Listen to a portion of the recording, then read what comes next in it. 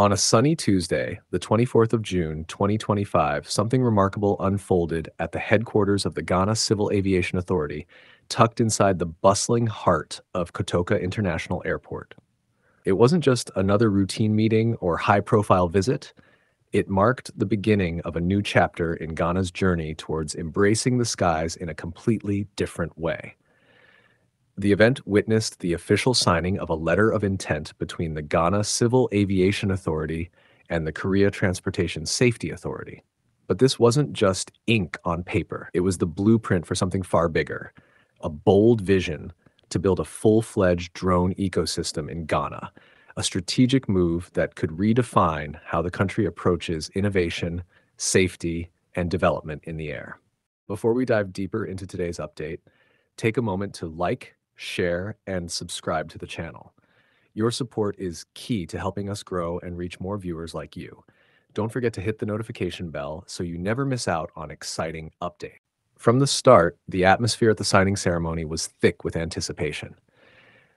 It wasn't just the Ghanaian officials in attendance, but a Korean delegation made up of high level researchers and thought leaders. Among them were principal researchers Cho Joo Yong and Jung Gi Hun, along with Professor Lee Byung Seok, director of the Drone Security Strategy Institute at South Korea's prestigious Soonchunhyang University. These weren't just visitors, they were key architects of South Korea's advanced drone policy and safety systems. And now they were turning their expertise towards Ghana. The purpose of their visit extended beyond just a ceremonial agreement. It was a deep dive into Ghana's growing drone landscape, a landscape that's already seen pockets of success in health delivery, agriculture, and surveillance, but still lacks a harmonized structure to scale efficiently. The Koreans came to do more than observe.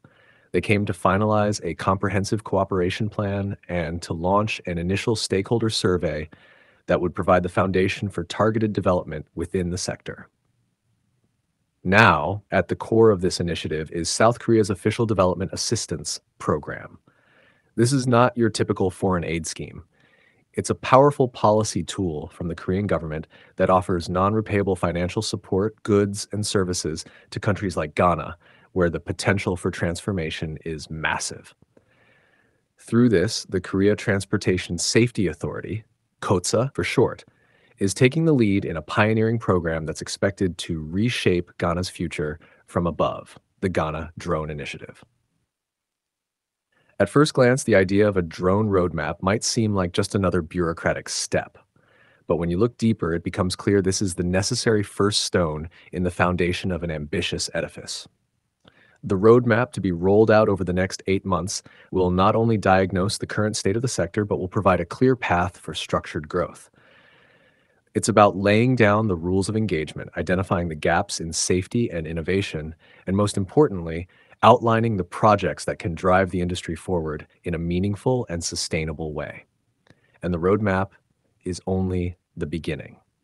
As the plan unfolds, three more transformative projects have already been lined up by the Korean delegation, each one timed perfectly to follow the momentum of the initial roadmap. First on the list is the Regulatory Framework and Drone Safety Management Project, which is scheduled to begin in 2028 and will span five years. This is a critical component because as drone usage increases, so too does the potential for safety risks, legal confusion, and uh, gray areas in terms of airspace governance. The focus here will be on building robust laws and regulations that keep up with the technology while ensuring both security and efficiency in drone operations. Operations. Then comes the drone pilot training program, set to kick off in 2030. Ghana already has a wave of young tech enthusiasts eager to enter the drone space. But without structured training and certification pathways, their potential remains untapped. This program will create those pathways. It will professionalize drone piloting in Ghana, open up employment opportunities, and ensure that the country has a ready pool of skilled individuals to serve the needs of the industry. Finally, there's the Drone Industry Ecosystem Development Project, which begins in 2032. This is where things get really exciting. So, this phase will look at the entire value chain of the drone sector, from hardware manufacturing and maintenance to software development, data analytics, and service provision. It's not just about flying drones, It's about creating a new industrial ecosystem that supports innovation, entrepreneurship, and economic growth. During the signing ceremony, the acting director general of the GCAA, Rev. Stephen Wilfred Arthur, delivered a message that resonated with everyone in the room. He acknowledged the growing importance of drone operations in Ghana, not just as a novelty, but as a national asset. He made it clear that while drones offer incredible benefits, they also come with challenges that require careful planning, especially when it comes to security, privacy, and air traffic management. Rever Arthur noted that the GCAA is already taking steps in this direction, with directives in place on the importation and use of drones and ongoing efforts to integrate drone systems with Ghana's broader air traffic management using advanced software tools. What stood out most from his remarks was the urgency and clarity with which he spoke. He called the drone sector dynamic and rapidly evolving, which is exactly what it is. In a country where drones have already started delivering medical supplies to remote areas and monitoring crop health in rural farmlands, the possibilities are endless. Rever Arthur emphasized that this Korean backed initiative couldn't have come at a better time. Indeed, uh, KOTSA isn't just a passive player in this game.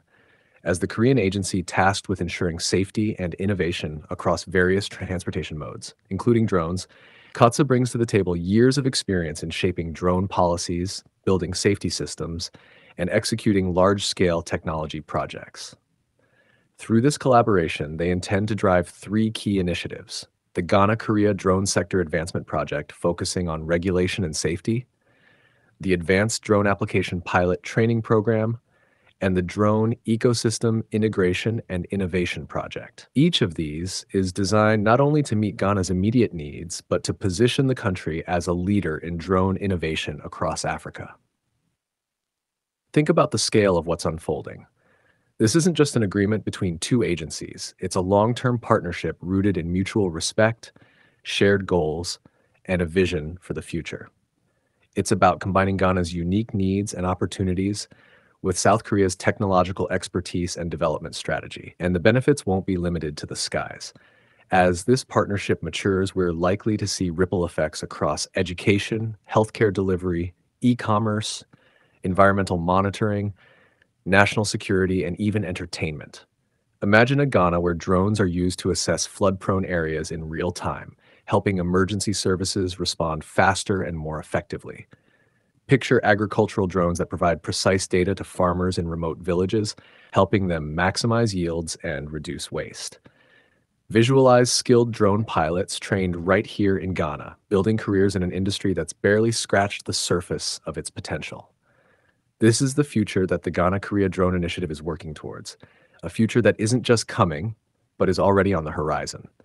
And what makes this even more powerful is the fact that it's starting with the right foundation not a rush to import more hardware, not a top down imposition of foreign technology, but a carefully thought out roadmap designed hand in hand with Ghanaian stakeholders that puts the country's needs and capabilities first. A plan that respects the complexity of airspace regulation while opening up space for innovation and growth. For the young innovator tinkering with drone components in a workshop in Kumasi, for the farmer in the Upper East region wondering how to get real time weather data.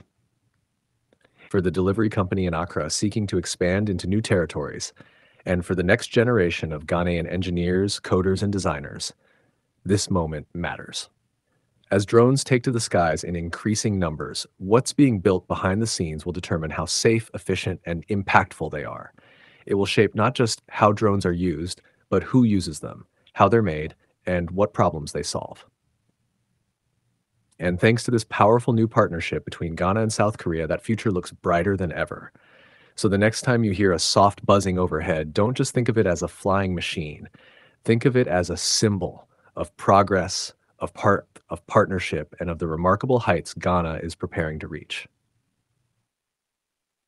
If today is your first time watching this channel or you are returning to this channel for the exciting content, Please subscribe to the channel for more educative and developmental projects across Ghana and Africa as a whole.